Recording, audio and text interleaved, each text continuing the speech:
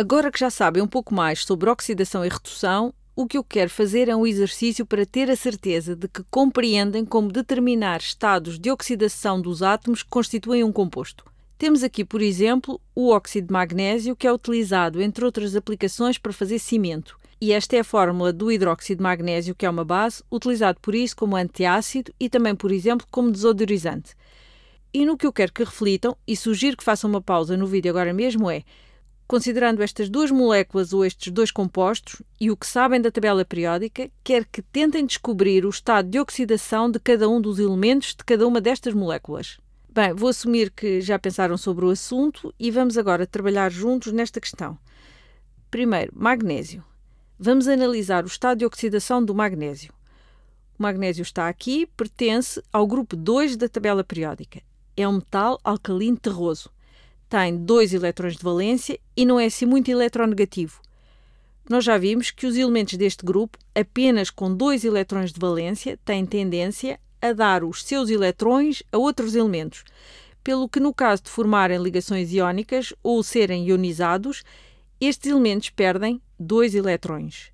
Se perderem dois eletrões, adquirem uma carga positiva de mais dois.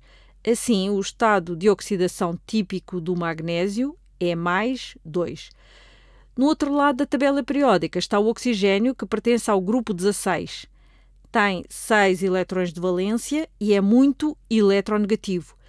Tão eletronegativo que inicialmente se pensava que estas reações apenas ocorriam na presença de oxigênio, daí o nome de oxidação. Gosta de tirar eletrões de outros elementos. E o oxigênio, em particular, tem tendência a tirar dois eletrões pelo que é normal que o oxigênio, assim como outros elementos deste grupo, mas em especial o oxigênio, ter dois eletrões de outras espécies.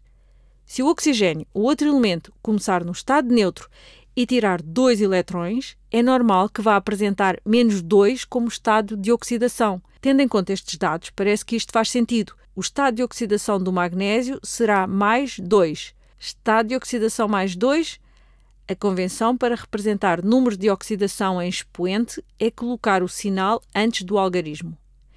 E o estado de oxidação do oxigênio será ou poderá ser menos 2. Isto faz sentido atendendo à carga global da molécula. Mais 2 menos 2 é igual a zero. E faz sentido, ou seja, a molécula é neutra. E neste caso, o estado de oxidação não representa uma carga iónica hipotética para o caso destas ligações serem iónicas. É mesmo a carga do íon, uma vez que o óxido de magnésio é um composto iónico. Assim, o oxigênio tira efetivamente dois eletrões e o magnésio dá efetivamente dois eletrões ao oxigênio. Ou seja, o estado de oxidação descreve, neste caso, o que realmente tem lugar em termos da ligação iónica.